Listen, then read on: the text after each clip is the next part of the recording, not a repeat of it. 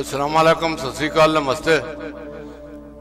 ਇਹ ਜਨਾਬ ਪਾਰਟ 2 ਹੈ, ਸ਼ੌਕਤ ਤਨਵੀਰ ਮਿਰਜ਼ਾ ਸਾਹਿਬ ਦੇ।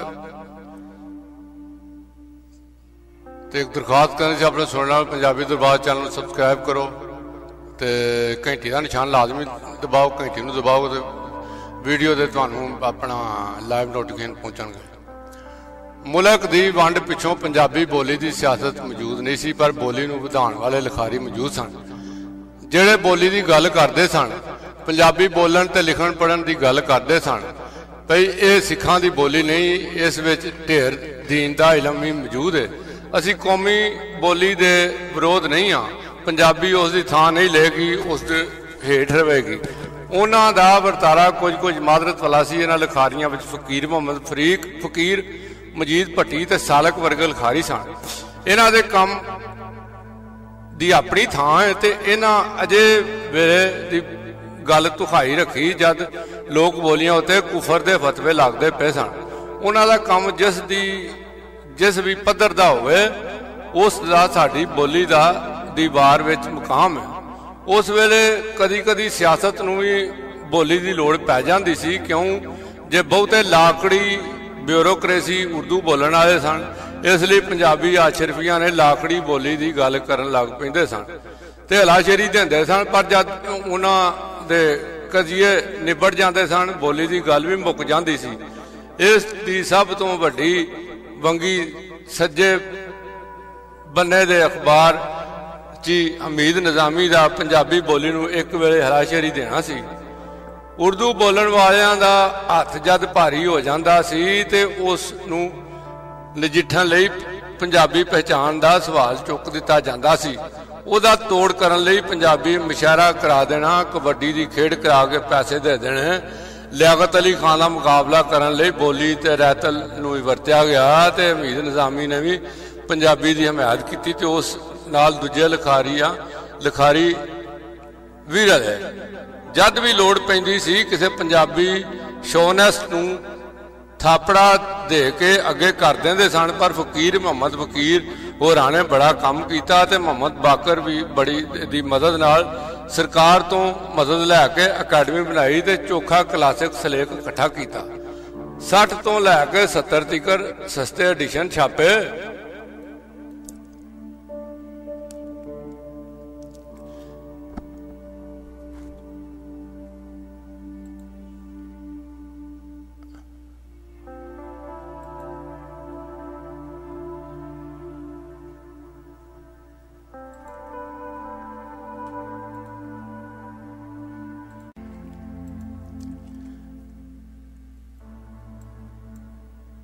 ਛਾਪ ਕੇ ਪੁਰਾਣਾ ਕਲਾਸਿਕ ਹਾਜ਼ਰ ਕਰਤਾ ਇਸ ਕੰਮ ਵਿੱਚ ਅਬਦੁਲ ਅਜ਼ੀਜ਼ ਬਾਰਾਟਲਾ ਦੀ ਸੋਦੀ ਹੀਰ ਵਾਰਿਸ਼ਾ ਦੀ ਸੀ, ਜਿਸ ਮੁੜ ਤੋਂ ਕਲਾਸਿਕ ਪੜਨ ਦੀ ਰੀਤ ਜਗਾ ਦਿੱਤੀ।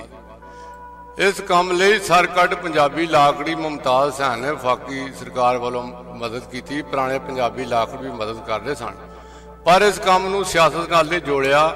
ਇਸ ਕੰਮ ਰਾਹੀਂ ਜਿਹੜੀ ਨਵੀਂ ਸਿਆਸਤ ਬਣਨੀ ਸੀ, ਉਹ ਉਹਨਾਂ ਦੇ, ਉਹਨਾਂ ਨਾ ਬੰਨੀ ਅਤੇ ਕੰਮ ਅਖੀਰ ਸ਼ਫਕਤ ਤਨਵੀਰ ਮਿਰਜ਼ਾ ਹੋਰਾਂ ਕੀਤਾ। 1963 ਵਿੱਚ ਮਿਰਜ਼ਾ ਜੀ ਪੰਜਾਬ ਵਿੱਚ ਰਾਈਟਰ ਗਲਡ ਸਬ ਰੀਜਨ ਦੇ ਸੈਕਟਰੀ ਸਨ। ਅਯੂਬ ਸਰਕਾਰ ਨੇ ਸੋ ਜਵਾਨਾਂ ਦਾ ਇਹ ਅਦਾਰਾ ਆਪਣੀ ਸਰਕਾਰੀ ਮਹਿਦ ਲਈ ਬਣਾਇਆ ਸੀ ਤੇ ਇਸ ਦਾ ਮੁੱਢਲਾ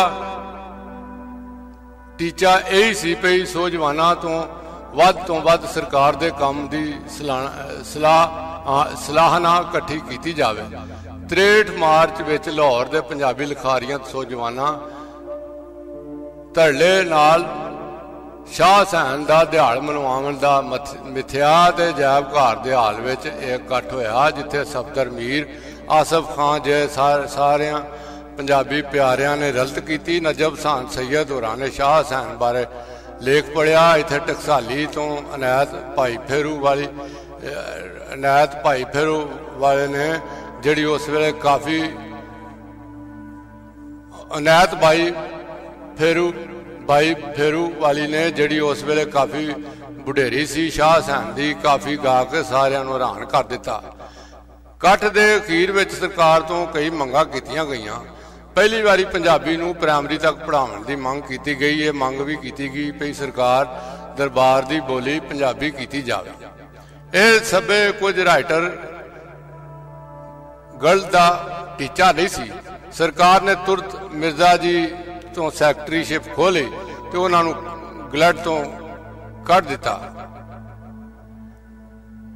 ਇਸ ਉੱਤੇ ਰੌਲਾ ਪੈ ਗਿਆ। ਸਫਦਰ ਮੀਰ ਪਾਕਿਸਤਾਨ ਟਾਈਮ ਵਿੱਚ ਸਨ। ਉਹਨਾਂ ਦਲੇਰੀ ਨਾਲ ਮਿਰਜ਼ਾ ਜੀ ਦੇ ਪੰਜਾਬੀ ਦੇ ਹੱਕ ਵਿੱਚ ਕਾਲਮ ਲਿਖੇ ਤੇ ਕੁਝ ਹੋਰ ਅਖਬਾਰਾਂ ਅਖਬਾਰਚੀਆਂ ਵੀ ਮਿਰਜ਼ਾ ਜੀ ਦੇ ਹੱਕ ਵਿੱਚ ਲਿਖਿਆ। ਪਰ ਰਾਈਟਰ ਗਰਦ ਦੀ ਸੈਕਟਰੀਸ਼ਿਪ ਖੰਝਾਵਣ ਪਿੱਛੋਂ ਮਿਰਜ਼ਾ ਜੀ ਪਛਾਣ ਪਰਤ ਕਰਾਂ ਪਿਛਾਂ ਪਰਤ ਕਰਾਂ ਵੇਖਿਆ ਤੇ ਮੁੜ ਪੰਜਾਬੀ ਬੋਲੀ ਦੀ ਅਗਵਾਈ ਦਾ ਕੰਮ ਸਾਂਭ ਲਿਆ ਤੇ ਉਸ ਵੇਲੇ ਉਰਦੂ ਦੇ ਮੰਨੇ ਪਰਮੰਨੇ ਲਿਖਾਰੀ ਸਨ। ਉਹਨਾਂ ਦਾ ਕਲਾਮ ਨਕੂਸ਼ ਵਰਗੇ ਮੋਤਬਰ ਰਸਾਲਿਆਂ ਵਿੱਚ ਛਪਦਾ ਪਿਆ ਸੀ। ਉਹ ਉਰਦੂ ਦੇ ਪੱਕੇ ਪੇਡੀ ਸ਼ਹਿਰ ਸਨ ਤੇ ਉਹਨਾਂ ਡਾਢੇ ਆਰ ਪਿੱਛੋਂ ਉਰਦੂ ਵਿੱਚ ਮੁਕਾਮ ਬਣਾਇਆ ਸੀ। ਉਹਨਾਂ ਸਾਹਮਣੇ ਉਰਦੂ ਵਿੱਚ ਮੁਕਾਮ ਬਣਾਉਣ ਦੀ ਸ਼ਾਨਦਾਰ ਭਲਕ ਸੀ, ਉਹ ਪਰ ਸਭ ਫਾਇਦੇ ਛੱਡ ਕੇ ਆਪਣੀ ਬੋਲੀ ਦੇ ਲੜ ਲੱਗ ਗਏ ਤੇ ਅਖੀਰ ਤੀਕਰ ਲੱਗੇ ਰਹੇ। ਆਖਿਆ ਜਾਂਦਾ ਏ, ਉਸ ਵੇਲੇ ਸਫਦਰ ਮੀਰ ਨੇ ਹੁਕਾ ਦਿੱਤਾ, ਹੁਣ ਕੋਈ ਉਰਦੂ ਨਹੀਂ ਲਿਖੇਗਾ, ਪਰ ਮਿਰਜ਼ਾ ਸਾਹਿਬ ਆਪਣੀ ਗੱਲ ਉਤੇ ਪੱਕੇ ਰਹੇ ਤੇ ਨੌਕਰੀ ਲਈ ਭਾਵੇਂ ਜਾਂ ਪੰਜਾਬੀ ਦੇ ਹੱਕ ਵਿੱਚ ਉਰਦੂ ਲਿਖੀ ਹੋਵੇ, ਉਂਝ ਉਹਨਾਂ ਇੱਕ ਅੱਖਰ ਵੀ ਉਰਦੂ ਦਾ ਨਹੀਂ ਲਿਖਿਆ। ਇਸ ਪਿਛੋਂ ਮਿਰਜ਼ਾ ਜੀ ਦੀ ਜ਼ਾਤੀ ਆਜ਼ਾਦੀ ਦੀ ਕਹਾਣੀ ਬੋਲੀ ਲਹਿਰ ਦੀ ਵਾਰ ਤੇ ਬੋਲੀ ਲਹਿਰ ਦੀ ਵਾਰ ਮਿਰਜ਼ਾ ਜੀ ਦੀ ਕਹਾਣੀ ਹੈ ਮਿਰਜ਼ਾ ਜੀ ਡਟ ਕੇ ਖਲੋ ਗਏ ਤੇ ਆਪਣੀ ਬੋਲੀ ਦੇ ਗੋਲ ਲਈ, ਘੋਲ ਲਈ ਇੰਜ ਹੋਰ ਬੰਦੇ ਵੀ ਉਹਨਾਂ ਦੇ ਬਾਹ ਬੇਲੀ ਬਣਦੇ ਗਏ। ਗਵਰਨਮੈਂਟ ਕਾਲਜ ਤੋਂ ਕਈ ਜੀ ਉਹਨਾਂ ਨਾਲ ਰਲੇ ਤੇ ਫਿਰ ਆਸਫ ਖਾਨ ਨੇ ਨਜਮ ਹੁਸੈਨ ਸੀ ਜੇ ਲਿਖਾਰੀ ਤਾਂ ਪਹਿਲਾਂ ਹੀ ਇਹਨਾਂ ਨਾਲ ਸਨ। 1968 ਵਿੱਚ ਸਭ ਤੋਂ ਲਸਨ ਜ਼ੁਕੈਮ ਜ਼ੈਗਮ ਵੀ ਰਲ ਗਏ ਉਹ ਵੀ ਪੰਜਾਬੀ ਅਦਬੀ ਸੰਗਤ ਤੇ ਮਜਲਿਸ ਸ਼ਾਹ ਹਸਨ ਦੇ ਉਦਮੀ ਸਨ। ਮਜ਼ਦੂਰ ਕਿਸਾਨ ਪਾਰਟੀ ਦੇ ਮੈਂਬਰ ਸਨ ਤੇ ਮੋੜ ਨਾਇਬ ਸਦਰ ਵੀ ਬਣੇ। ਉਸ ਵੇਲੇ ਪੰਜਾਬੀ ਦੇ ਹੱਕ ਵਿੱਚ ਕੋਈ ਬਹੁਤੀ ਫਜ਼ਾ ਨਹੀਂ ਸੀ, ਕੋਈ ਸਾਥ ਦਫ਼ਤਰ ਨਹੀਂ ਸੀ, ਇਸ ਲਈ 63 ਵਿੱਚ ਹੀ ਪਹਿਲੇ ਪੰਜਾਬੀ ਅਦਬੀ ਸੰਗਤ ਸੰਗਤ ਬਣੀ ਤੇ ਫਿਰ ਮਜਲਿਸ ਸ਼ਾਹ ਹਸਨ ਤੇ ਇਹ ਦੋਵੇਂ ਸੱਥਾਂ ਮਿਰਜ਼ਾ ਹੋਰਾਂ ਹੀ ਬਣਾਈਆਂ ਤੇ ਅਖੀਰ ਤੀਕਰ ਚਲਾਈਆਂ।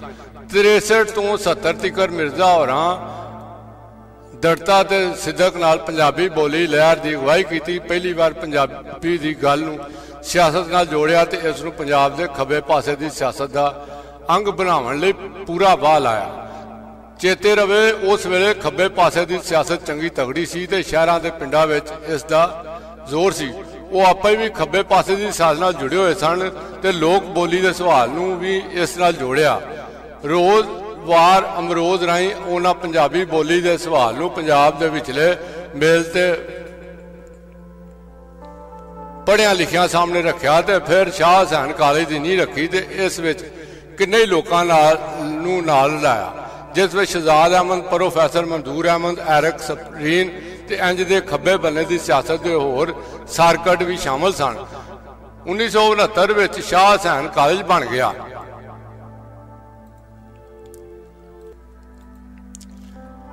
ਇਹਨਾਂ, ਇਹ ਇਹਨਾਂ ਵਰਿਆਂ ਘੋਲ ਸਦਕਾ ਹੀ ਸੀ ਪਈ। ਉਸ ਵੇਲੇ ਦੇ ਖੱਬੇ ਪਾਸੇ ਦੇ ਸਾਰੇ ਅਖਬਾਰ ਜੀਆਂ ਸੋਜਵਾਨਾਂ ਤੇ ਲਿਖਾਰੀਆਂ ਪੰਜਾਬੀ ਦੇ ਸਵਾਲ ਦੀ ਹਮਾਇਤ ਕੀਤੀ ਜਾਂ ਘੱਟੋ ਘੱਟ ਪੰਜਾਬੀ ਵਿਰੋਧ ਬੋਲਣਾ ਔਖਾ ਹੋ ਗਿਆ। ਉਸ ਵੇਲੇ ਰੋਜ਼ ਵਾਰ ਡਾਨ ਦੇ ਅਹਿਮਦ ਅਲੀ ਖਾਨ ਵਾਯੋ ਪੁਆਇੰਟ ਦੇ ਮਦਰ ਅਲੀ ਖਾਨ, ਅਹਿਮਦ ਨੀਮ ਕਾਸਮੀ ਤੇ ਫੈਜ਼ ਅਹਿਮਦ ਫੈਜ਼ ਵੀ ਪੰਜਾਬੀ ਦੇ ਹੱਕ ਵਿੱਚ ਬੋਲੇ।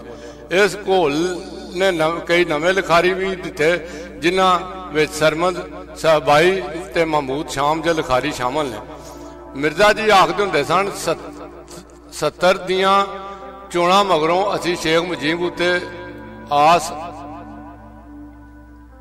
ਲਾਏ ਬੈਠੇ ਸਾਂ। ਸਾਡਾ ਵਿਚਾਰ ਸੀ, ਜੇ ਸ਼ੇਖ ਮੁਜੀਬ ਆ ਗਿਆ ਤਾਂ ਬਗਾਲੀਆਂ ਨੂੰ ਉਹਨਾਂ ਦਾ ਹੱਕ ਮਿਲਣ ਨਾਲ ਪੰਜਾਬ ਨੂੰ ਵੀ ਆਪਣੀ ਖੁਸ਼ੀ ਬੋਲੀ ਦਾ ਹੱਕ ਵੀ ਮਿਲ ਜਾ ਸੀ ਪਰ ਮੋੜ ਜਿਨ੍ਹਾਂ ਕੁਝ ਵੀ ਪੰਜਾਬੀ ਨੂੰ ਮਿਲਿਆ, ਉਸ ਲਹਿਰ ਪਰੋਂ ਹੀ ਸੀ, ਜਿਹੜੀ ਮਿਰਜ਼ਾ ਹੋਰਾਂ ਦੀ ਅਗਵਾਈ ਹੇਠ ਛੂਈ ਤੇ ਜਿਸ ਪਰੋਂ ਪੰਜਾਬ ਯੂਨੀਵਰਸਿਟੀ ਵਿੱਚ ਸ਼ੋਭਾ ਪੰਜਾਬੀ ਬਣਿਆ ਤੇ 6ਵੀਂ ਤੋਂ ਲਾ ਬੀਏ ਤੀਕਰ ਪੰਜਾਬੀ ਅਖਤਿਆਰੀ ਮਜ਼ਮੂਨ ਵਜੋਂ ਲਾਗੂ ਲਾਗੂ ਹੋਈ ਮਿਰਜ਼ਾ ਜੀ ਇਹ ਵੀ ਆਖਦੇ ਸਨ, ਪੰਜਾਬੀ ਵਿੱਚ ਲਿਖਣਾ ਆਪਣੇ ਆਪ ਨੂੰ ਡੀ ਕਲਾਸ ਕਰਨਾ ਹੈ। ਮਿਰਜ਼ਾ ਜੀ ਅਖੀਰ ਤੱਕ ਆਪਣੇ ਕੰਮ ਨਾਲ ਜੁੜੇ ਰਹੇ ਤੇ ਮੈਂ ਜਦ ਉਹਨਾਂ ਦੀ ਬਿਮਾਰੀ ਦਾ ਸੁਣ ਕੇ ਇੱਕ ਵਾਰੀ ਮਿਲਣ ਗਿਆ ਤਾਂ ਉਹਨਾਂ ਨੂੰ ਇਹੋ ਹਰਕ ਸੀ ਪਈ ਉਹ ਬੋਲੀ ਨੂੰ ਮੁੱਢਲੀ ਪੜ੍ਹਾਈ ਦਾ ਵਸੀਲਾ ਨਹੀਂ ਬਣਾ ਸਕੇ। ਅੱਜ ਸਾਡੇ ਸਾਡੇ ਸਾਰੇ ਪੰਜਾਬੀ ਪਿਆਰਿਆਂ ਦਾ ਇਹ ਕੰਮ ਹੋਣਾ ਚਾਹੀਦਾ ਹੈ ਭਈ ਅਸੀਂ ਉਸ ਕੰਮ ਨੂੰ ਤੋੜ ਚਾੜੀਏ ਜਿਹੜਾ ਮਿਰਜ਼ਾ ਜੀ ਅਦ ਵਾਟੇ ਛੱਡ ਗਿਆ। ਫਰੀਦਾ ਉਮਰ ਸਹਾਵੜੀ ਸੰਗ ਸੋਨੜੀ ਦਿਆ। ਵਿਰਲੇ ਕਈ ਪਾਇਣ ਜਿਨ੍ਹਾਂ ਪਿਆਰੇ ਨੀਆ।